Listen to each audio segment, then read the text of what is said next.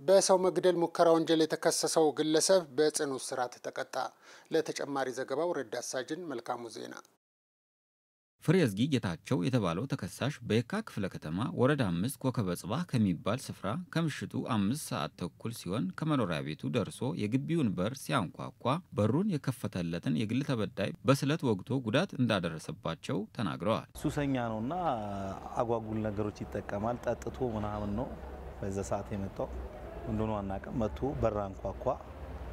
ልክ በሩን ስንከፍትለት በቃ የተቀበለኝ በጠርሙስ ነው አይኔ ላይ መጀመሪያ ከዛ በቃ ከባድ ነገር ነው ያደረሰብኝ ላይ ላይ ማለት ነው። በስለትም ይዞ ነበር ቢላዋ ምናምን በሱ እንትን ሲለኝ በቃ እኔ ራሴን ለመከላከል እንትን በምል ሰዓት በቃ ከባድ ነገር ነበር ያደረሰብኝ። የሐኪም ማስረጃ ከዳግማዊ ሚኒሊክ በወቅቱ ሄደን ከዳግማዊ ሚኒሊክ በወቅቱ እዛው እሱም ተይዞ አብረን ይዘን ሄደን ፖሊሶች ባሉበት ማስረጃ ይላቅርብ ያሉና ፖሊስ ተከታትሎ ይዞት ለፍርድ ስላበቃው ለፖሊስ ምስጋና ይገባዋል።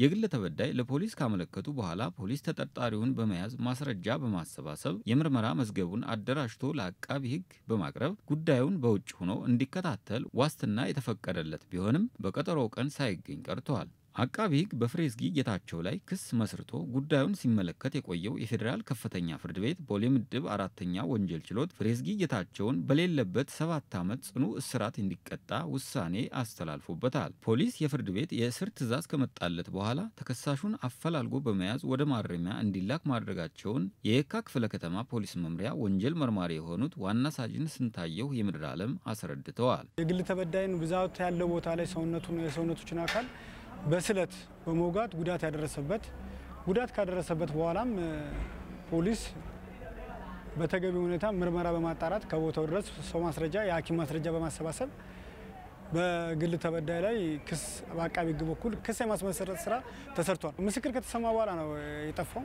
ምስክር ተሰምቶ ሳይቀርብ ቀረ። ከዛ በሌለበት ፍርድ ቤቱ የሰባት ዓመት ጽኑ እስራት ከተቀጣ በኋላ ነው መርማሪ ፖሊስ ከአስገዳጅ ፖሊሶች ጋር በመሆን ከፍተኛ ክትትል በማድረግ ተከሳሽን የያዝ ነው። ዋስትና ተፈቅዶላቸው የፍርድ ቤት ቀጠሮ ባለማክበር ወንጀል ፈጽመው የሚጠፉ ተከሳሾች ከሕግ እንደማያመልጡ አውቀው ለሕግ ተገዢ በመሆን የተፈቀደላቸውን የዋስትና መብት ተጠቅመው በቀጠሮ ቀን መቅረብ እንዳለባቸው ዋና ሳጅን ስንታየሁ አሳስበዋል።